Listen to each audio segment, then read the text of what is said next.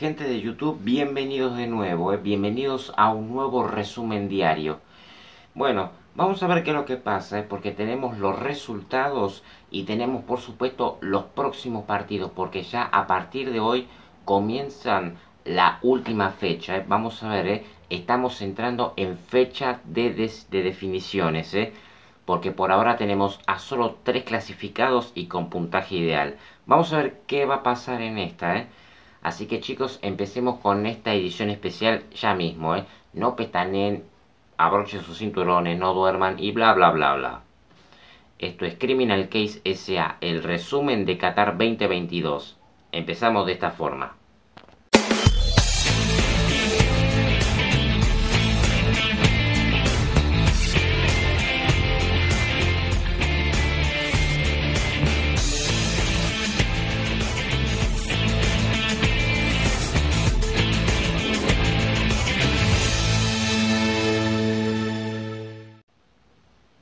Bueno, ahora vamos a empezar ya mismo con el resumen de la jornada. Por supuesto, porque tenemos los últimos partidos de los grupos G y H. Más adelante tenemos los primeros partidos de la tercera fecha del grupo A y el grupo B. Y recuerden que es la fecha de definiciones. Quiénes se van a casa, quiénes se van a quedar en el mundial, lo vamos a saber ya mismo. También tenemos la actualizada tabla de goleadores y por supuesto Claro, después de eso tenemos el infaltable análisis de mi buen amigo Emiliano Albornoz. Amigos, empecemos ya mismo con el resumen de la jornada. Muy bien, es hora del resumen de la jornada. Grupo G, Brasil 1, Suiza 0, Serbia 3, Camerún 3. Grupo H, Portugal 2, Uruguay 0, Corea del Sur 2, gana 3. Momento de repasar las posiciones. Grupo G, Brasil clasificado 6 puntos, Suiza 3 puntos, Camerún y Serbia 1 punto cada uno. Grupo H, Portugal también clasificado 6 puntos, gana 3 puntos, Corea del Sur y Uruguay 1 punto cada uno próximos partidos de la fecha 3, última fecha. Grupo A, Qatar, Holanda y Ecuador, Senegal. 12 del mediodía Argentina, 9 de la mañana México. Grupo B, Inglaterra, Gales, Irán, Estados Unidos. 4 de la tarde Argentina, 1 de la tarde México. Repasemos ahora la actualizada tabla de goleadores. Kylian Mbappé y Ener Valencia tres goles cada uno. Messi, Morata, Camarín, Fernández y ahora Mohamed Kudos con dos goles cada uno. Cho West-song de Corea del Sur se suma con dos goles. Saka, Richarlison, Gakpo, Torres, Taremi y Oliver Giroud con dos goles cada uno. Todo esto y mucho más en Criminal Case SA edición especial.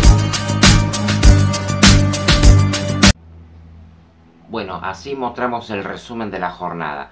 Bueno amigos, ha llegado el momento de mostrarles una vez más el análisis mundialista de parte de mi amigo Emiliano Albornoz. Así que vamos a ver de qué se trata. Bro, ¿qué es lo que tenés para contarnos el día de hoy?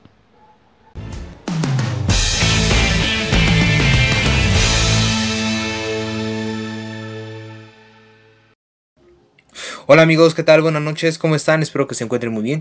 Mi nombre es Emiliano Albornoz Arellano y este video se va a tratar sobre que les voy a dar mi análisis de los últimos partidos de la jornada 2 de la Copa Mundial Qatar 2022 que fueron un total de 4 y nos vamos con el primer partido donde Camerún se enfrentó a Serbia. Este partido quedó 3 a 3 fue un resultado ahora sí que no muy bueno para ambos pero definitivamente Camerún y Serbia nos regalaron uno de los partidos más locos y entretenidos de esta Copa Mundial. Catelo abrió el marcador para los africanos pero Pavlovic y Miknovic marcaron dos goles en 152 segundos para darle la vuelta al partido.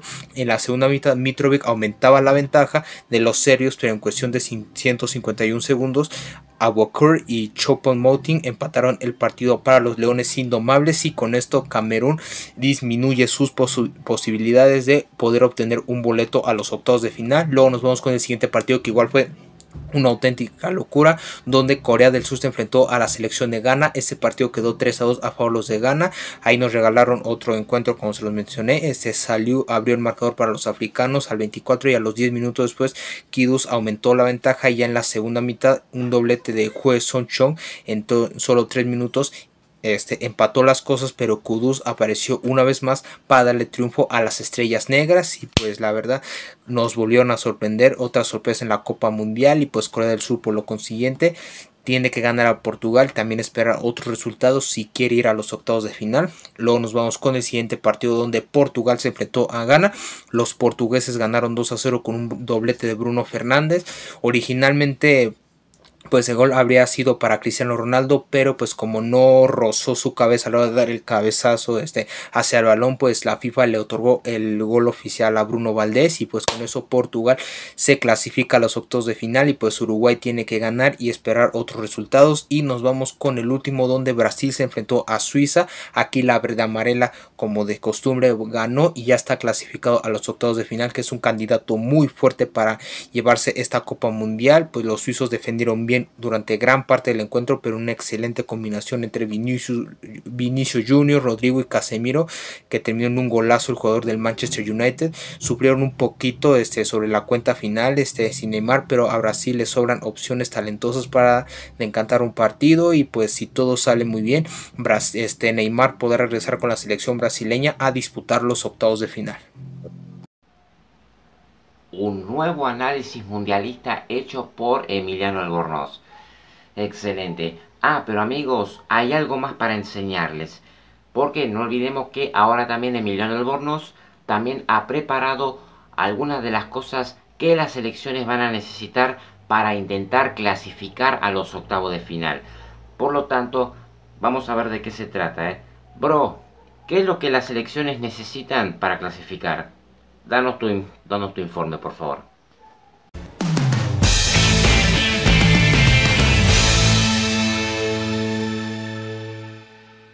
Pero no tocar. Hola amigos, ¿qué tal? Buenas tardes, ¿cómo están? Espero que se encuentren muy bien. Mi nombre es Emiliano Albonoz Arellano y este video se va a tratar sobre que les voy a dar sobre qué necesita cada selección para poder clasificar a los octavos de final a una jornada de que culmine la fase de grupos. Así que vamos a comenzar. Mira esto. Para... Es magnífico. Sí. ¿Me enseñarías? Oh, claro. Acércate están todas habitaciones. Esta es la habitación principal y las maneras. Y si miras aquí abajo. Y aquí está, ya está preparada la presentación. Listo. Y aquí está ya los botones. Y aquí, ¿qué necesita cada selección para avanzar a los octavos de final? Aquí está el título y mi subtítulo, mi nombre, Emiliano Albono Sarillano. Y nos vamos con el grupo A, que está conformado por Países Bajos, Ecuador, Senegal y Qatar. ¿Qué necesita Ecuador para clasificarse a los octavos? Se clasifica, se clasifica con un triunfo o un empate ante Senegal. Si pierde contra Senegal, se quedaría fuera si Países Bajos no pierde con Qatar. Tendría opciones si los locales ganan y ahí habría que ver cómo se resuelve un desempate con Países Bajos, lo que necesita Países Bajos para clasificarse a octavos. Le alcanza con no perder ante Qatar. Si pierde ante Qatar, se clasificaría con una victoria de Ecuador o hasta un empate o victoria de Senegal, aunque estos dos últimos casos habría que ver cómo se resuelve el desempate entre sí. ¿Qué necesita Senegal para clasificarse a octavos? Con una victoria ante Ecuador y con el empate podría avanzar, aunque necesitaría que Qatar eh, le gane a Países Bajos por tres o más goles de diferencia. Si pierde está eliminado y sobre qué necesita Qatar para, para clasificarse a octavos el anfitrión, lamentablemente ya está eliminado. Países Bajos está con cuatro puntos, con igual con Ecuador, Senegal con tres y Qatar con cero puntos, dos derrotas. Nos vamos con el grupo B, que está conformado por Inglaterra, Irán, Estados Unidos y Gales.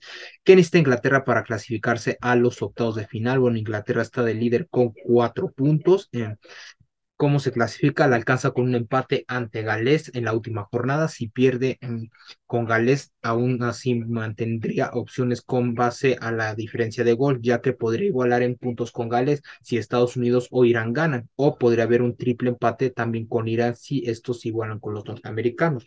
¿Qué necesitarán para clasificarse a octavos de final? Está de sublíder con tres puntos eh, si le gana a Estados Unidos está dentro, si le alcanza, le alcanza con un empate ante los norteamericanos en todo menos un escenario en el de un potencial triple empate junto a Inglaterra y Gales, ahí habría que ver la diferencia de goles. Si pierde estará eliminado. Lo que necesita Estados Unidos para clasificarse, que está en tercer lugar con dos puntos, una victoria se clasifica y este, y bueno, también depende sobre qué es lo que pasa. Y también por último, ¿qué necesita Gales para clasificarse, que está en el último lugar con un punto apenas? Si no le gana a Inglaterra, se quedará eliminado. O sea, debe de ganar sí o sí y ganar uno de los dos posibles empates que se puedan dar. Uno con los ingleses en caso de victoria de Estados Unidos o Irán en su partido entre sí, o uno con Inglaterra y Irán en caso de igualdad de iraníes y norteamericanos. Es el de Inglaterra, ya dije Inglaterra, este, dije Gales, dije Estados Unidos, dije Irán, ok, está. Luego nos vamos con el Vamos con el grupo C, que está conformado por Argentina, Polonia, Arabia Saudita y México. ¿Qué necesita Argentina para clasificarse a todos de final? Estos están con tres puntos de sublíderes. Si le gana Polonia, incluso podría ser primero de grupo, solo se lo impediría una victoria de Arabia Saudita ante México, que a su vez le permite superar a Argentina en diferencia de gol. Hoy están más uno Argentina y menos uno Arabia Saudita. Si empata contra, contra Polonia, necesita un empate de Arabia Saudita con México o una victoria de México por tres goles o menos goles. Luego, ¿qué necesita México para clasificarse a todos de final que esté en el último lugar con un punto apenas?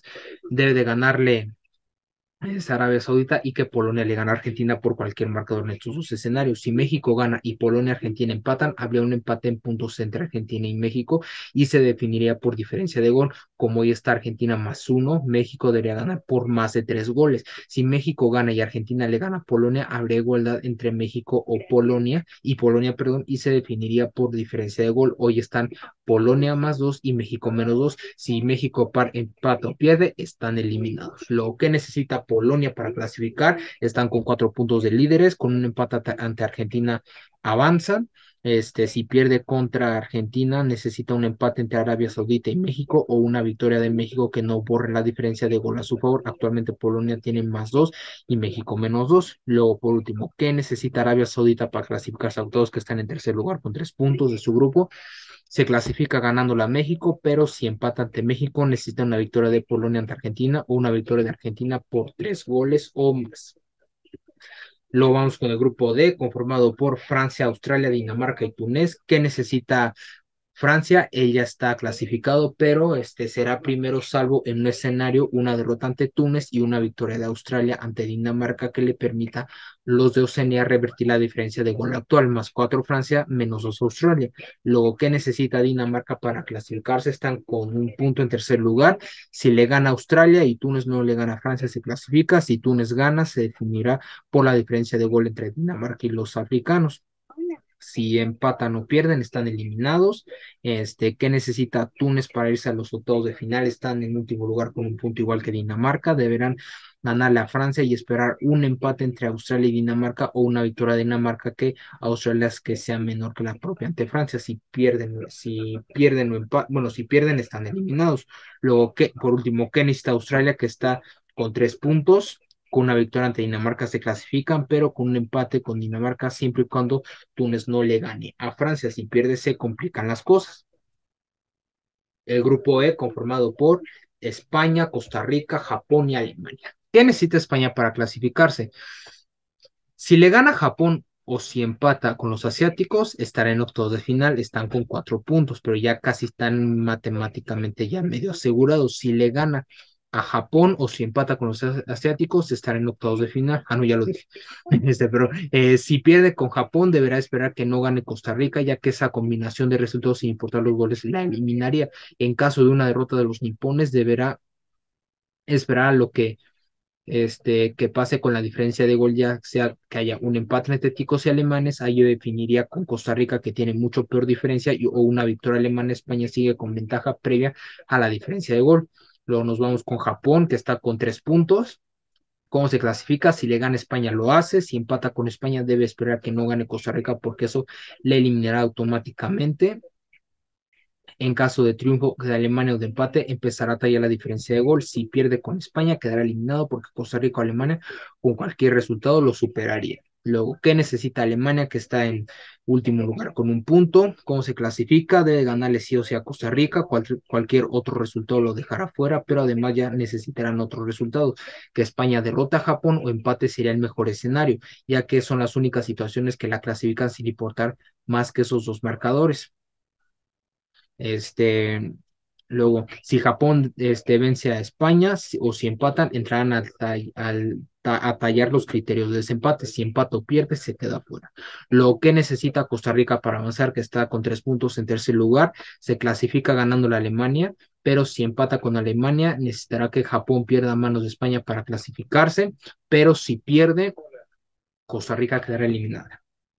Luego nos vamos con el grupo F, conformado por Croacia, Marruecos, Bélgica y Canadá. ¿Qué necesita Croacia para clasificarse a octavos? Ellos están con cuatro puntos de líderes.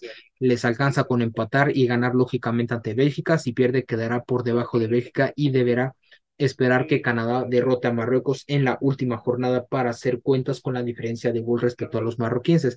Luego, si, si este, un empate o derrota, pues les puede complicar las cosas. Bueno, una derrota más bien. ¿Qué necesita Marruecos para clasificarse a octavos? Ellos están con cuatro puntos, están haciendo un buen papel hasta ahora.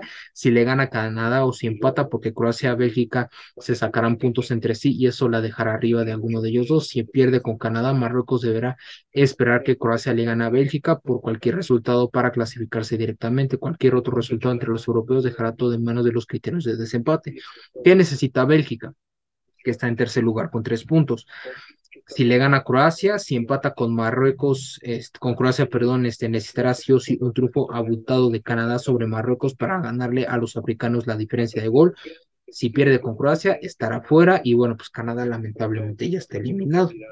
Y luego nos vamos con el grupo G, conformado por Brasil, Suiza, Camerún y Serbia. ¿Qué necesita Brasil? Ellos están de, este, de líderes con seis puntos, ellos están clasificados, técnicamente un este, empate o victoria les asegura el liderato. Este, ¿Qué necesita Suiza para clasificarse a octavos? Ellos están con tres puntos.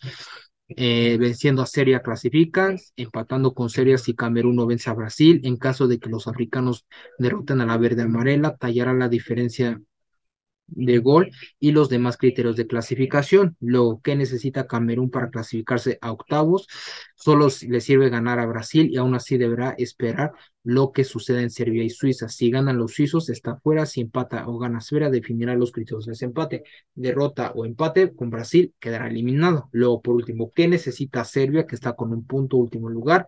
Ganar la Suiza y que Camerún no le gane a Brasil.